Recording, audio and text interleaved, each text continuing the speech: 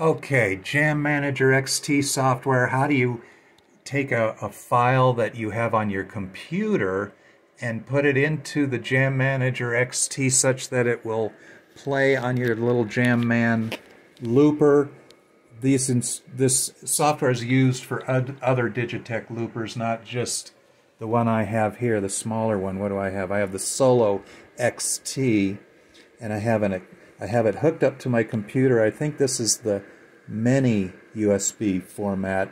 They give you the cable with the with the uh, Jam Man, but you can get that. It's it's a mini to uh, to standard USB, not micro, not micro or or uh, USB C is I think another one they have.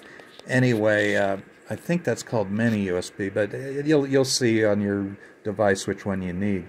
Um, yeah, so okay, so I've got, uh, you know, you got the arrow switches here that let you choose loops. It's getting a little blurry, but if I go back here, these are the loops that I have on my external card. That little card there. And, you know, so if I play this, there's a little drum beat coming out. I have it hooked up to my little Quilter amp. Um, double click to stop, go back up. These are the internal ones.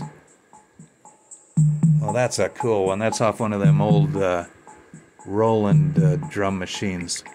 Okay, anyway, back to the uh, subject at hand. How do we take an external file and get it on here?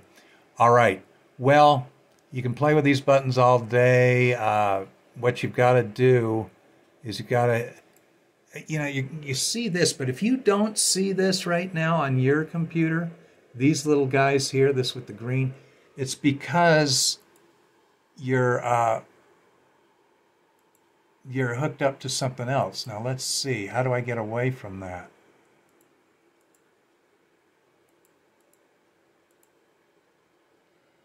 There we go.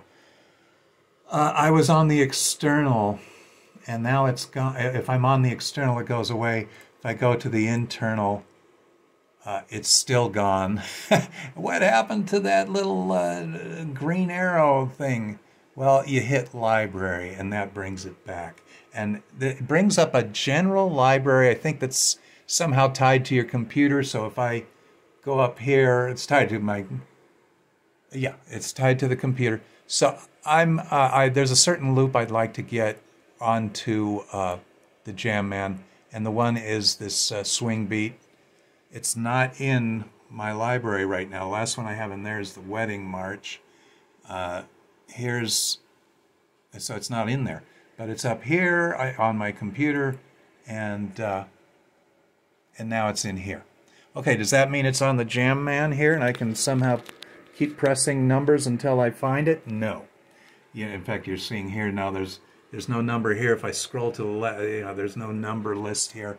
Well, there are some loop numbers here. Should I have labeled this a number? Uh, you know, uh, no. Is it going to be number 115? No, that's just the title. So, uh, how do I get it onto the Jamman? It's actually not on the Jamman now, even though I pulled it off the computer and put it into the software. How do I get it onto the Jamman? I go up to this guy,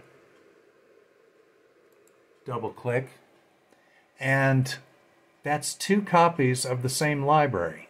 Whoop-de-doo. Why do I need two copies? You don't. But here's that new file again. Two copies of that same uh, library you saw that's tied to the computer. Well, somehow, I, I, I don't know, maybe I shouldn't. It's kind of loose talking, say it's tied to the computer. It's files that I got from the computer. Okay, Jamman Solo XT internal. I'm going to put it in internal slot 5 because I saw earlier 5 was open. So there's internal, and if I, yeah, sure enough, slot 5. Now there's a number here, slot 5.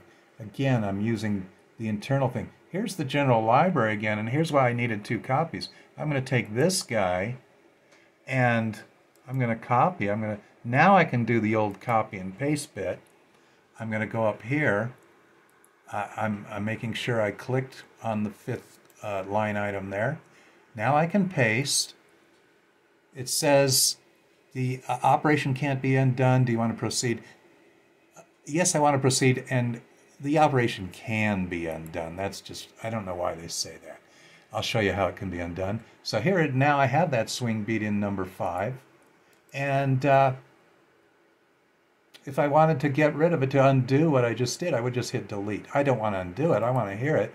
I want to see that it works. Okay, so I, I'm on internal slot two. Let's get to five and, and hope that that beat comes out. Sure enough, there's my swing beat. All right, I'm all excited. Oh, wait a minute. It just stopped. I wanted it to loop. Well, what's going on there?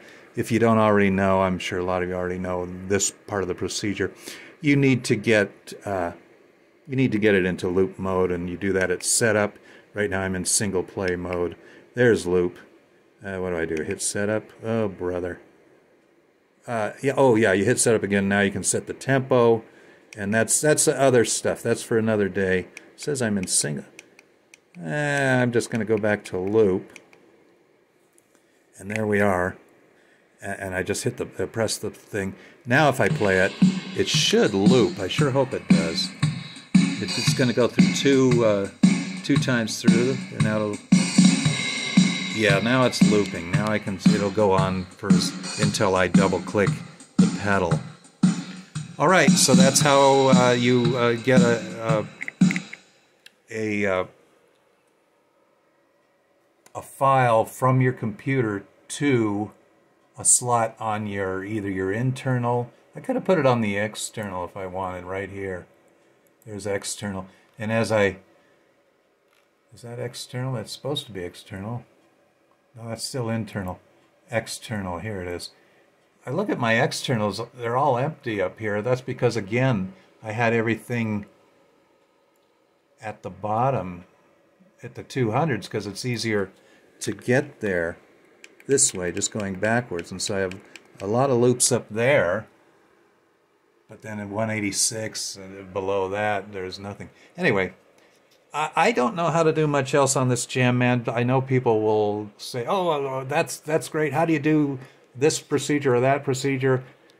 Uh, I probably don't know.